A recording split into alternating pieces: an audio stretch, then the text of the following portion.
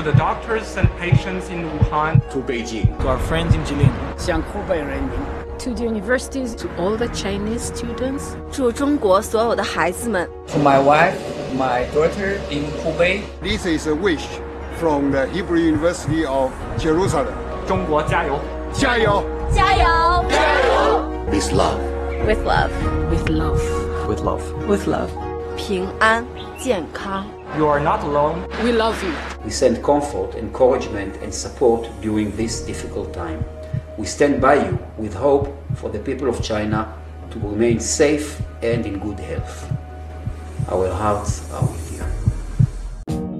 更多精彩尽在中国新闻网客户端。